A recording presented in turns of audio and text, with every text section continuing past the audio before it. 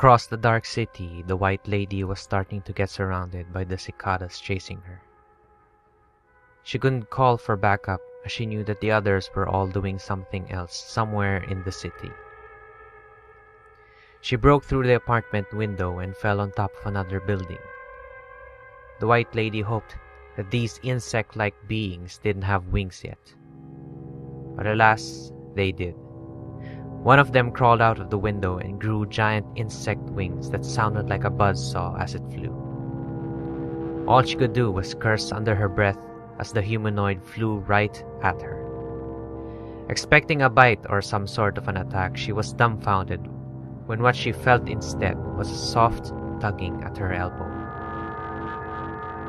She looked up and saw the humanoid in the open.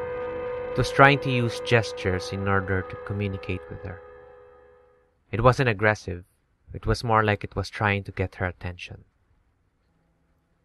Trying not to get scared too much of a giant humanoid insect crossbreed, she stood up and observed the creature more, learning small patterns of behavior.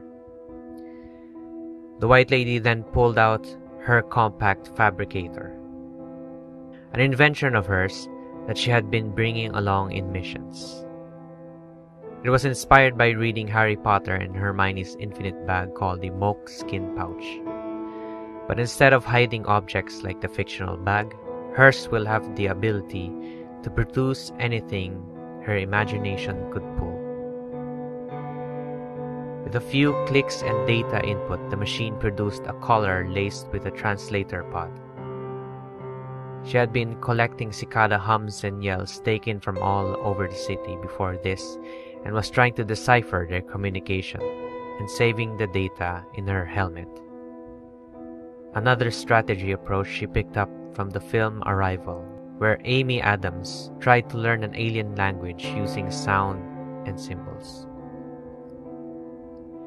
As the fabricator halted, she took the collar and slowly placed it around the neck of the humanoid, hoping that her prep time with the audio file she'd collected and translated would work at this crucial moment.